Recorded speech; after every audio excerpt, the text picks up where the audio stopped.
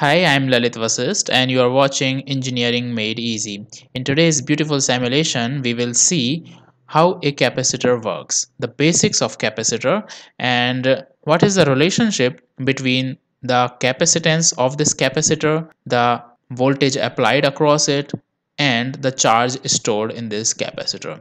We will also see how the capacitance of a capacitor varies by changing various parameters like area of this parallel plate capacitor and the distance between these plates. So let's start first with the basic structure of this parallel plate capacitor. So what is a capacitor? A capacitor is simply a passive electronic uh, component that can store electrical energy in the form of electric field. So we will see how it happens let me first uh, tell you the basic structure of this. It has it is a parallel plate capacitor containing two parallel plates. That's why it is named as parallel plate capacitor. These two plates are in parallel okay? And uh, they have some area and a certain distance between these two plates. And the capacitance of the parallel plate capacitor is given by c okay we denote it by c and it is equals to epsilon into area divided by distance. Here epsilon is the permittivity of the dielectric medium that is filled between these plates. And a is the area of these plates okay? And uh, what is the d? D is the distance between these two parallel plates okay? So c is epsilon into area divided by distance okay? It can store the energy. As i told you it can store energy in the form of electric field now we will vary the capacitance of the capacitor by varying the area and distance between the plates of the capacitor. For this, let's apply some voltage. Here is the battery DC voltage source and it is at 0 volt at, at this time. Now I'm going to increase it to certain voltage. Let's increase it. We can also use this uh, voltmeter to check the voltage applied at this time what is this voltage? Let's see. At this time I have applied a voltage of uh, 0.447 volt okay?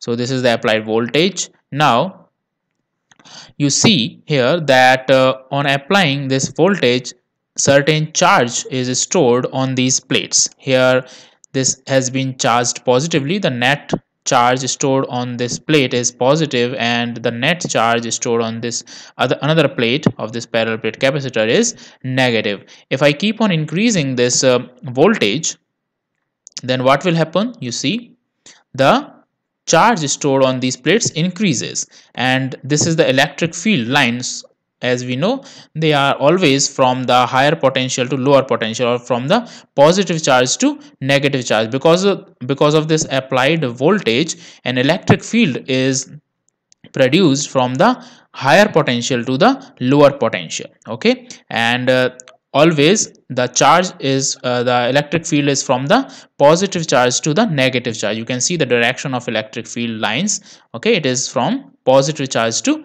negative charge now this capacitor is charged. Because of this applied voltage we know that uh, q is equals to c into v. Q is the charge stored c is the capacitance of the capacitor and v is the voltage applied. Since this capacitance c is given by epsilon into area by epsilon into area by distance and these this is a constant term. If i do not change the capacitance if i do not change the dielectric between this uh, these two parallel plates and area and distance then we can see that we can say that v is directly proportional to q. Since it was q is equals to c into v and c is a constant if I do not change the capacitance the uh, if I do not change the dielectric area and distance between these plates in that case Q is directly proportional to V. So if I increase this V you see that the charge stored on these plates will increase. Okay? And if I decrease it then C I am reducing it. Now it is 0 and uh, because of this no charge is stored. And uh, in this if I increase it in another direction that is I change the polarity and increase it in reverse uh, direction in reverse polarity then the charge distribution changes. The polarity of charge changes. Uh, here it becomes negatively charged and uh, it becomes positively charged which is reverse to the another case where it was positively positive voltage when I applied here positive voltage. Okay? So in this way you can understand the relationship between uh, voltage and the charge. Now what will I do? I will apply certain voltage okay? I have applied certain voltage. You see the electric lines of forces okay? Electric field lines. The number of these lines increases on increasing the voltage. And now I will change the area of this parallel plate capacitor. I will increase and decrease it. And you will see how it affects the electric uh, electric field lines and the charge stored on these and the charge present on these plates. So let's increase it. Here area is 100 mm square at this time and let's increase the area. So you can see as I am increasing the size of the capacitor size of the plates that is the area of the plates so the stored charge okay is increasing because capacitance is epsilon into area divided by distance. So this capacitance is directly proportional to the area of the plates and inversely proportional to the distance between these two plates. So on increasing area the capacitance is increased and if capacitance is increased we know q is equals to c into v. And uh, if capacitance is increased because of increase in uh, area uh, we know that the q will also increase by q is equals to cv and if I reduce let's reverse it. If I reduce the area of the plates of this parallel plate capacitor then the q will reduce. Okay? Now I will change. We have seen uh, the what happens on changing the area. Now I will vary the distance between the plates of this parallel plate capacitor. Since by the formula C is equals to epsilon into area divided by distance I know that capacitance is inversely proportional to the distance between the plates. So if I will decrease the distance between the plates then the capacitance will increase. Let's see here. Here I am decreasing the distance and this uh, capacitance of the capacitor is increasing. It is because capacitance is what? Capacitance is the ability to store charge. If it is able to store more charge then we can say its capacitance is increasing. You see and if I am increasing the distance between the plates then you see the charge stored there. Both the positive and negative is decreasing because it is inversely proportional to the distance between the plates. So we have seen the effect of changing a area and the d the distance between the plates of the capacitor on its capacitance and also how it affects when we change the voltage of this capacitor. Okay voltage applied across this capacitor because v is directly proportional to q now let me tell you the formula to calculate the energy stored in a capacitor. The energy stored in this capacitor is given by E is equals to half CV square. C is the capacitance and uh, V is the voltage applied across it. So half CV square can be used to calculate the stored energy. You can put the values of C and V in this you can also write this half cv square as half into c into v into v and we know that uh, c into v is nothing but q. So it can be changed into half into q into v. So you can use uh, various formats uh, by using half cv square and uh, another relationship is q is equals to c into v. So you can find various formats various uh, forms of uh, stored energy formula for this capacitor so this was the parallel plate capacitor and it's uh, changing with uh, by uh, changing its various parameters. Okay?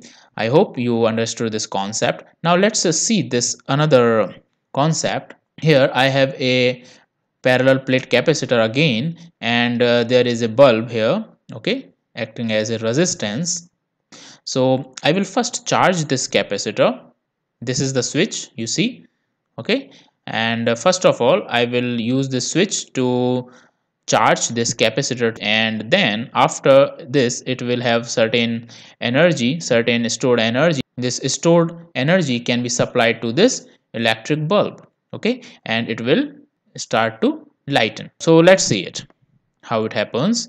I am first uh, charging this capacitor by applying some voltage. I'm increasing the voltage and this capacitor has charged. I can also uh, increase the amount of charge by two ways by decreasing the distance between these plates okay and by increasing the size that is the parallel plate capacitors uh, area the area of the parallel plate capacitor.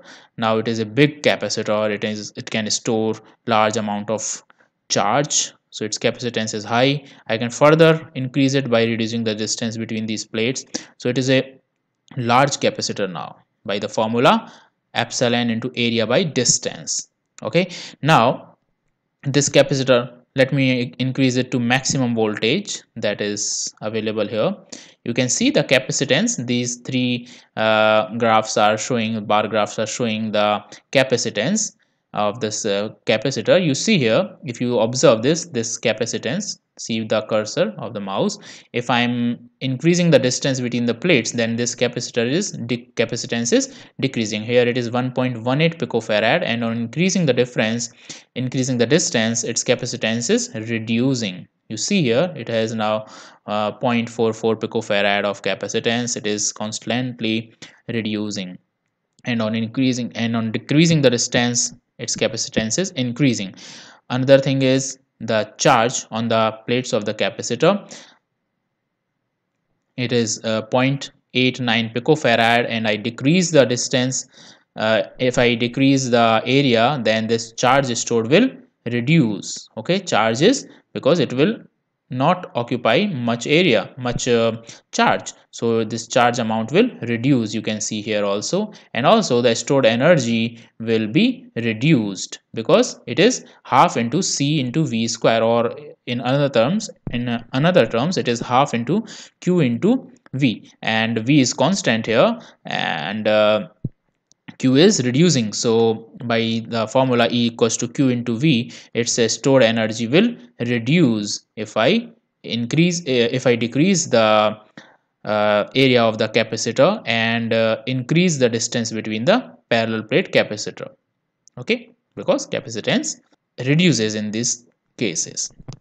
Now uh, it has been charged. So to maximize the charge q and its increase to increase its capacitance let me do some things like uh, reducing the distance between the plates and increasing the surface area uh, the area of the capacitor and uh, increasing the voltage to its maximum. Now it has been charged and as soon as I will uh, uh, switch this to uh, lighten this bulb then it will give a glow and for some time and when this stored charge gets uh, discharged when this capacitor gets uh, fully discharged then it will not glow okay? So let's see what happens. This is glowing okay? And you observe here this these parameters that the charge is constantly decreasing energy is decreasing see these uh, uh, graphs they are all are reducing. And this capacitance is although constant because capacitance does not change. Capacitance depends on epsilon. We are not changing changing the dielectric between the plates not changing the area not changing the distance between them. So only the capacitance is constant and this uh, top uh, plate charge is reducing and this stored energy has also reduced. And this bulb is not glowing now it has completely discharged. The capacitor has completely discharged. Everything is zero except this capacitance. Its capacity is not changing. It can it is a it is an empty capacitor now. It is again ready to store charge. So you can switch. You can change the switch. Okay? Now it is ready to charge. It has been charged again. And you can again flip this switch to lighten this bulb again. And it, you can observe these three bar graphs okay? This uh, yellow red and green how it is changing these plate charge and stored energy is constantly uh, reducing at fast rate and this capacitance is constant. And now it has been fully discharged. Not uh, not now but it is going to discharge at very fast rate. You see. Okay and finally it will discharge completely. Charge on the plate capacitor is 0.02 pico uh, coulomb now and now it is 0.00 you can again charge it okay? So this was all about the working structure and uh, of the capacitor and how it affects the capacitance of the capacitor when we change various parameters like distance between the plates and uh, area. And also there is another factor that I didn't discuss here is the epsilon which is the permittivity of the medium the dielectric medium that is filled between these two parallel plates and as I increase the permittivity of this medium then the capacitance will change. Here uh, you can assume any uh, permittivity of uh, like uh, air here or we can use another material that is the dielectric which is not conducting. Okay dielectric means non-conducting insulator type. So it gets polarized. Okay so we uh, we can use different kinds of insulators that is dielectrics uh, in these between these two parallel plates. And uh, as high will be the permittivity as high will be the epsilon higher will be the capacitance of this capacitor. So it can store more charge.